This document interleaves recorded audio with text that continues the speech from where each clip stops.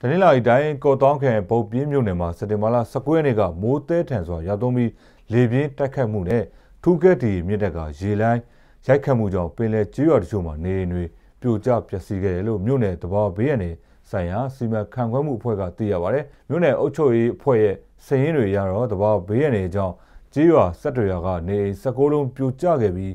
အင်ဂျီ28လုံးနဲ့လူလျှောက်တက်သားတရား ကိုးစင်းပျက်စီးခဲ့တယ်လို့သိရပါတယ်ပင်လယ်ကျွန်းကြေးရွာဖြစ်တဲ့ချောင်းကပီကြေးရွာမှာနေ15လုံးပြိုကျက9လုံးပျက်စီးပြီးဒါအများဆုံးပဲလို့ဆိုပါတယ်တဘာဘေးရတဲ့အကြောင်းလူနဲ့တလိษံတွေတေဆုံးတာမရှိဘဲပြိုကျပျက်စီးခဲ့တဲ့နေအိမ်တွေကမိသားစုဝင်တွေကိုတက်ဆိုင်ရာအုပ်ချုပ်ရေးတာဝန်ရှိသူတွေကရေလွတ်ရာနေအိမ်တွေကိုယာယီရွှေ့ပြောင်းပေးပြီးပျက်စီးတဲ့နေအိမ်တွေကိုတော့